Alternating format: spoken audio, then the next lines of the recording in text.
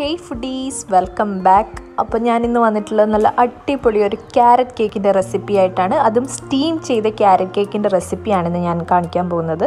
വളരെ സിമ്പിളായിട്ട് തന്നെ നമുക്ക് പ്രിപ്പയർ ചെയ്തെടുക്കാൻ പറ്റുന്ന ഒരു കേക്ക് റെസിപ്പിയാണിത് അപ്പോൾ ഓക്കെ നമുക്ക് നേരെ വീഡിയോയിലേക്ക് പോകാം. അപ്പോൾ ആദ്യം നമുക്ക് ഡ്രൈ ഇൻഗ്രീഡിയൻസ് എല്ലാം മിക്സ് ചെയ്തെടുക്കണം. അതിനായിട്ട് ഞാനിവിടെ ഒരു ഒന്നര കപ്പ് മൈദ അരിച്ച് വെച്ചിരിക്കുകയാണ്.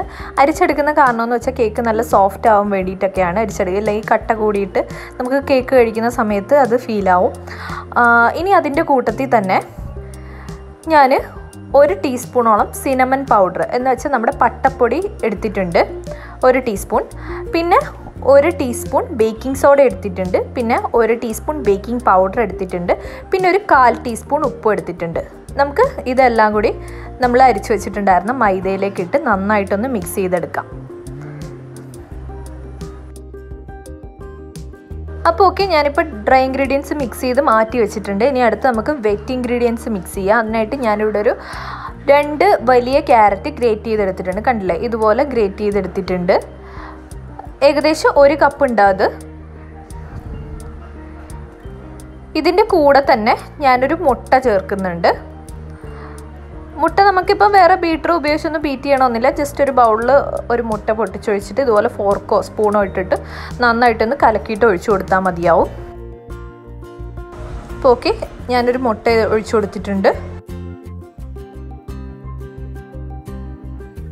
ഓക്കെ. അടുത്ത് നമുക്കൊരു മുക്കാൽ കപ്പ് പഞ്ചസാര ചേർത്ത് കൊടുക്കുക ഇതിലേക്ക് ഞാനിവിടെ ഷുഗർ ഷുഗറാണ് എടുത്തിരിക്കുന്നത്. പൊടിച്ച പഞ്ചസാരയൊന്നുമല്ല.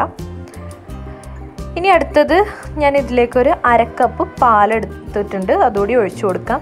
നമ്മൾ കേക്ക് ഉണ്ടാക്കുമ്പോൾ പ്രത്യേകം ശ്രദ്ധിക്കുക. കേക്കിന് ആവശ്യമായിട്ടുള്ള എല്ലാ സാധനങ്ങളും റൂം ടെമ്പറേച്ചറിലായിരിക്കണം ഫ്രിഡ്ജിൽ നിന്ന് എടുത്ത് ഡയറക്റ്റ് ഉപയോഗിക്കാൻ പാടില്ല.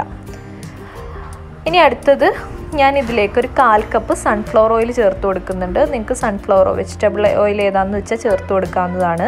ഇനി അടുത്തതായിട്ട് ഞാൻ ഇതിലേക്ക് ഒരു ടീസ്പൂണോളം വാനില എസൻസ് ചേർത്ത് കൊടുക്കുന്നുണ്ട്. നിങ്ങൾക്ക് വാനില എസൻസോ അല്ലെങ്കിൽ ബട്ടർ എസൻസോ ഒക്കെ ചേർത്ത് കൊടുക്കാവുന്നതാണ്.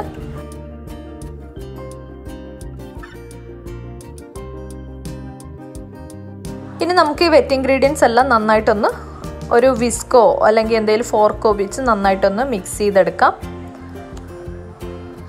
കാരണം നമുക്ക് ഇപ്പം പലർക്കും കേക്ക് ഉണ്ടാക്കണമെന്ന് ഭയങ്കര ആഗ്രഹങ്ങൾ ഉണ്ടാവും പക്ഷെ എല്ലാവർക്കും അങ്ങനെയുള്ള പ്രൊഡക്ട്സ് കയ്യിൽ അവൈലബിൾ ആയിരിക്കത്തില്ല. അപ്പോൾ അങ്ങനെ എല്ലാവർക്കും ചെയ്യാൻ പറ്റുന്ന തരത്തിലാണ് ഞാനിന്ന് ഒരു ഇങ്ങനൊരു കേക്ക് ഉണ്ടാക്കി കാണിക്കുന്നത്. അപ്പോൾ ഓക്കെ ഇത് നന്നായിട്ടൊന്ന് മിക്സ് ചെയ്ത് പിടിപ്പിക്കുക. അപ്പോൾ ഓക്കെ നമ്മൾ വെറ്റ് ഇൻഗ്രീഡിയൻസ് എല്ലാം നന്നായിട്ട് മിക്സ് ചെയ്ത് പിടിപ്പിച്ചിട്ടുണ്ട്. ഇനി അടുത്തത് ഇതിലേക്ക് നമ്മൾ നേരത്തെ മിക്സ് ചെയ്ത് വെച്ചിട്ടുണ്ടായിരുന്ന ഡ്രൈ ഇൻഗ്രീഡിയൻസ് കുറേശ്ശെ ഇട്ട് നന്നായിട്ട് മിക്സ് ചെയ്തെടുക്കുക. ഒരു കട്ട പോലും ഇല്ലാതെ നന്നായിട്ട് മിക്സ് ചെയ്തെടുക്കണം. ഞാനിപ്പോൾ ഒരു മൂന്ന് ബാച്ചായിട്ട് ഇട്ടാണ് മിക്സ് ചെയ്യുന്നത്. കാരണം നമ്മൾ ഒറ്റയടിക്ക് ഇട്ട് കഴിഞ്ഞാൽ നമുക്കത് മിക്സ് ചെയ്തെടുക്കാൻ ഭയങ്കര ബുദ്ധിമുട്ടായിരിക്കും. അപ്പം മൂന്ന് ട്രിപ്പായിട്ട് ഇട്ട് മിക്സ് ചെയ്യാൻ പ്രത്യേകം ശ്രദ്ധിക്കുക. അപ്പോൾ ഓക്കെ ഞാനിപ്പോൾ ബാറ്റർ നന്നായിട്ട് മാവൊക്കെ നന്നായിട്ട് മിക്സ് ചെയ്ത് പിടിപ്പിച്ചിട്ടുണ്ട്. കണ്ടില്ലേ? ഇനി ഇതിലേക്കൊരു ലാസ്റ്റ് സ്റ്റെപ്പായിട്ട് ഞാൻ കുറച്ച് ഡ്രൈ ഫ്രൂട്ട്സ് ആഡ് ചെയ്യുന്നുണ്ട്. നിങ്ങൾക്ക് നിങ്ങളുടെ കയ്യിലുള്ള ഏത് ഡ്രൈ ഫ്രൂട്ട്സ് ആണെങ്കിലും ആഡ് ചെയ്യാവുന്നതാണ്. ഞാനിവിടെ കുറച്ച് ആൽമണ്ട്സും അതുപോലെ തന്നെ റൈസിൻസും അതുപോലെ കുറച്ച് കാഷ്യും അതുപോലെ കുറച്ച് ചെറിയും നന്നായിട്ട് ചോപ്പ് ചെയ്ത് വെച്ചിട്ടുണ്ട്. അത് ഞാൻ ഇതിനകത്തേക്ക് ആഡ് ചെയ്യാണ്. ഞാൻ പറഞ്ഞില്ലേ നിങ്ങളുടെ കയ്യിലുള്ള ഏതാന്ന് വെച്ചാൽ നിങ്ങൾക്ക് ആഡ് ചെയ്താൽ മതി. ഇല്ലെങ്കിലും ഒരു കുഴപ്പമില്ല ഓപ്ഷനിലാണിത് ഇനി നമുക്ക് ഈ ഡ്രൈ ഫ്രൂട്ട്സ് നന്നായിട്ടൊന്ന് മിക്സ് ചെയ്ത് പിടിപ്പിക്കാം.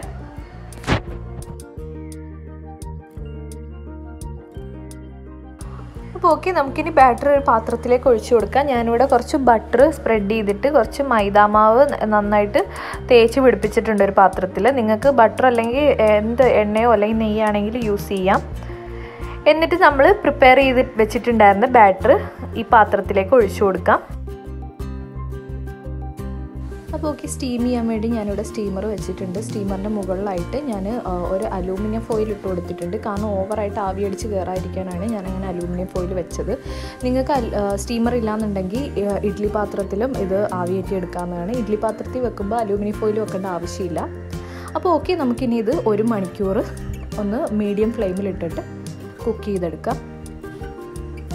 അപ്പോൾ ഓക്കെ ഇപ്പോൾ വൺ അവർ കഴിഞ്ഞിട്ടുണ്ട്. നമ്മുടെ കേക്ക് നന്നായി ബേക്കായി വന്നിട്ടുണ്ട്. മീൻസ് സ്റ്റീമായി വന്നിട്ടുണ്ട്. കണ്ടില്ലേ നടുവൊക്കെ പൊട്ടിയിട്ടുണ്ട്. പൊട്ടിയൊന്നും നിങ്ങൾ കണക്കാക്കേണ്ട. കാരണം ഞാനിപ്പോൾ ഒരു ചെറിയ പാത്രത്തിലായിരുന്നു ബാറ്റർ ഒഴിച്ചിരുന്നത് ബാറ്റർ അങ്ങനെ അധികമായി പോകുന്നതുകൊണ്ടാണ് അങ്ങനെ പൊട്ടി വരുന്നത്. അപ്പോൾ ഓക്കെ നമ്മുടെ കേക്ക് ഇനി വെന്തിട്ടുണ്ടോ എന്ന് നമുക്ക് ഒരു ടൂത്ത് പിക്ക് ഇട്ടിട്ട് ഒന്ന് ചെക്ക് ചെയ്ത് നോക്കാം.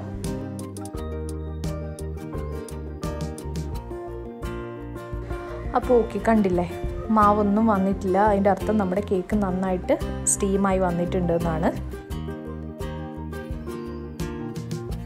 അപ്പോൾ ഓക്കെ ഫ്രണ്ട്സ് എല്ലാവരും മസ്റ്റായിട്ട് ട്രൈ ചെയ്ത് നോക്കണം. വളരെ സിമ്പിളായിട്ട് തന്നെ നമുക്ക് പ്രിപ്പയർ ചെയ്തെടുക്കാൻ പറ്റുന്ന ഒരു സ്റ്റീംഡ് കേക്ക് റെസിപ്പിയാണിത്. അപ്പോൾ ഓക്കെ ഫ്രണ്ട്സ് വീഡിയോ ഇഷ്ടമെങ്കിൽ ലൈക്ക് ചെയ്യുക അതുപോലെ തന്നെ അഭിപ്രായങ്ങൾ കമന്റ് ചെയ്യുക. ഇനി നല്ല നല്ല വീഡിയോസിനായി ചാനൽ സബ്സ്ക്രൈബ് ചെയ്യൂ. പിന്നെ നോട്ടിഫിക്കേഷൻസിനായി ബെല്ലൈക്കണും കൂടി ഒന്ന് ക്ലിക്ക് ചെയ്യും. അപ്പോൾ താങ്ക്സ് ഫോർ വാച്ചിങ്